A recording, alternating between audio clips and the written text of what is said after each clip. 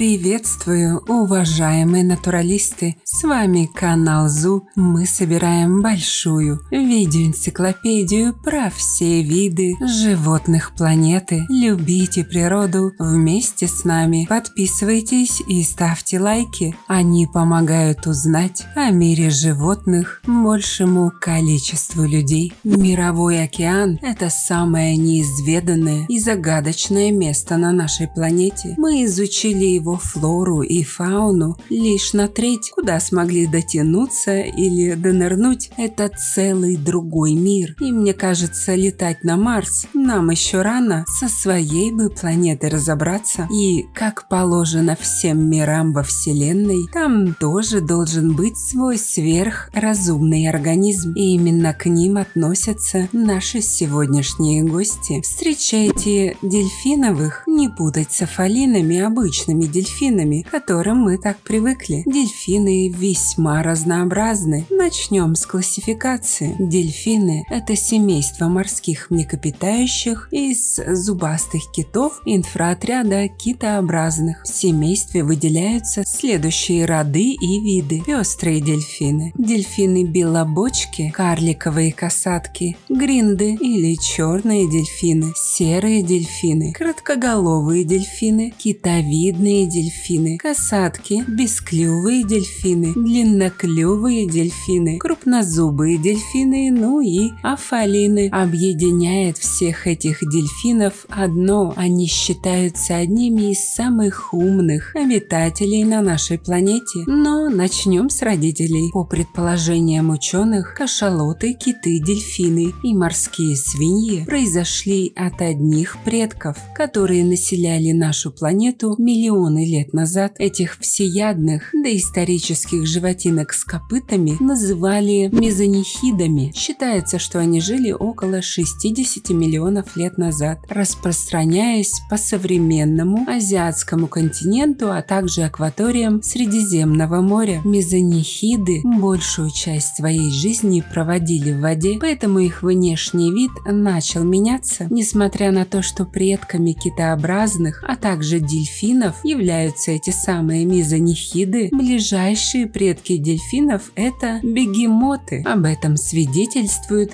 исследования на молекулярном уровне, хотя по этим же исследованиям мы ближе всего к свиньям. Некоторые ошибочно полагают, что дельфины – это рыбы, однако дельфины относятся к категории морских обитателей, которые дышат воздухом, а не с помощью жабр, как те самые рыбы. При этом дельфиниха выкармливает дельфинят самостоятельно, поэтому дельфинов называют млекопитающими. Кто не знал млека – это молоко. Размеры у дельфинов очень разные. Например, касатка достигает длины порядка 9 метров, набирая вес до 8 тонн. Но в среднем взрослые дельфины вырастают до 2,5 метров в длину при весе до 300 килограмм. Кушать все дельфиновые, несмотря на свой вид и размер, любят исключительно рыбку, но иногда не брезгуют и моллюсками. Каждый дельфин за день может съесть до 30 килограмм рыбы. Почему так много? Все дело в том, что дельфинам необходимо постоянно регулировать температуру своего тела, особенно в условиях, когда температура воды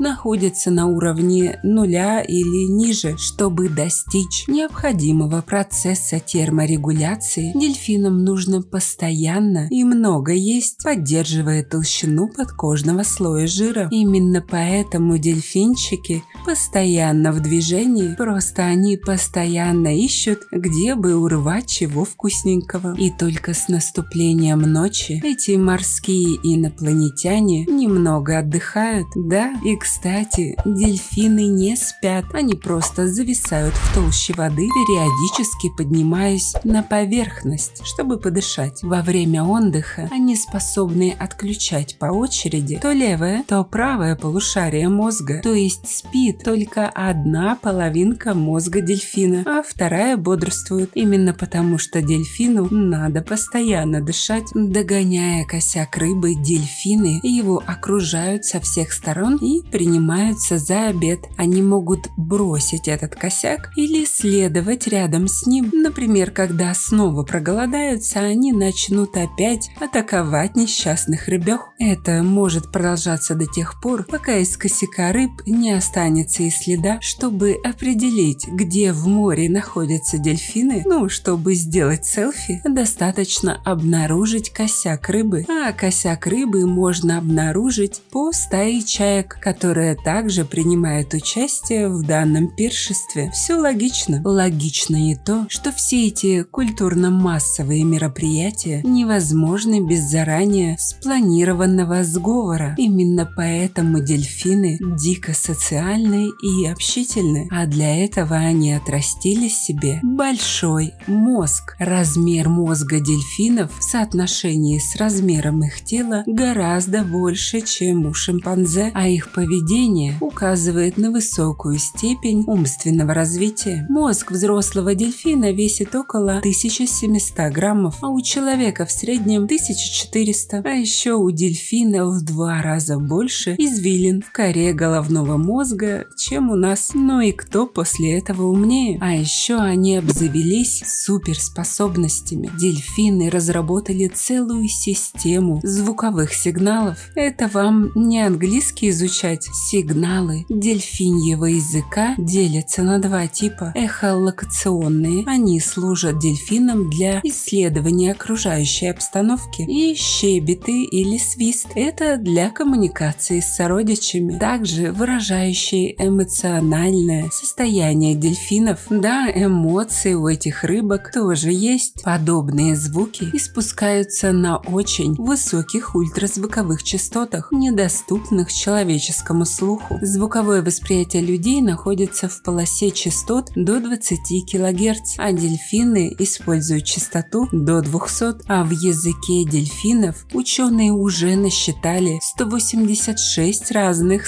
свистов. У них примерно столько же уровней организации звуков, сколько и у человека. 6, то есть звук, слог, слово, фраза, абзац, контекст. И даже есть свои диалекты. Дельфины способны к присваиванию и распознаванию имен, поэтому когда будете в отпуске делать то самое селфи с дельфинами, будьте с ними вежливы и обращайтесь по имени. Ну и о любви. Здесь все сложно.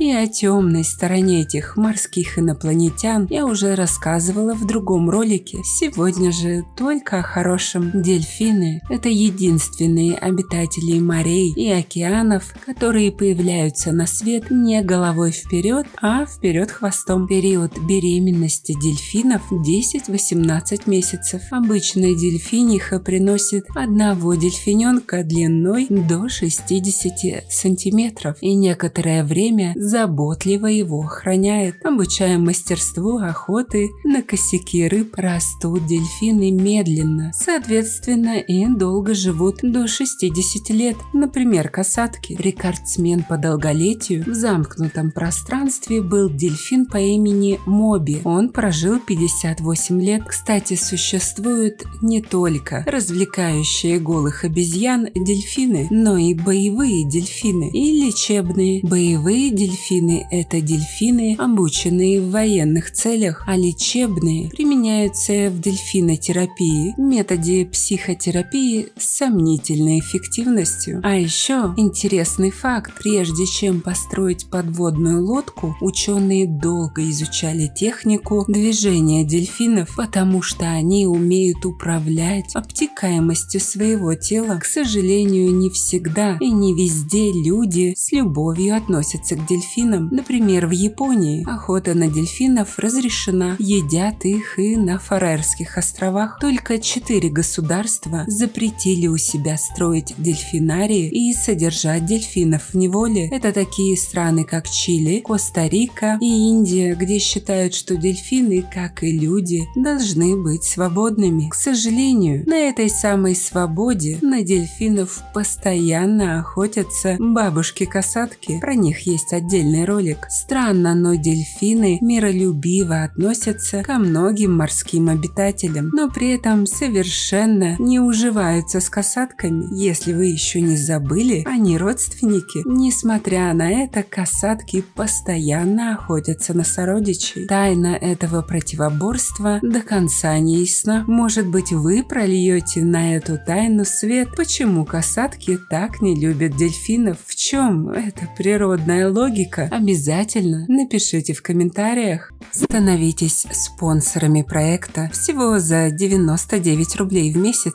Этим вы поможете популяризировать зоологию, что очень важно в современном мире. Также обращаю ваше внимание на то, что у нас появились дизайнерские брендовые футболки от канала. Приобрести их можно по ссылкам в описании к видео. Спасибо, что посмотрели этот ролик. Не забывайте ставить лайки, писать комментарии о том, какого бы животного вы хотели бы увидеть в следующем видео и делиться этим видео с друзьями. Это очень помогает развитию нашего небольшого сообщества. Подписывайтесь на наши паблики по ссылкам в описании к видео. Там много интересного. С вами был канал о животных ЗУ. Мы собираем большую видеоэнциклопедию про все виды животных планеты. Любите природу вместе с нами. До скорых встреч!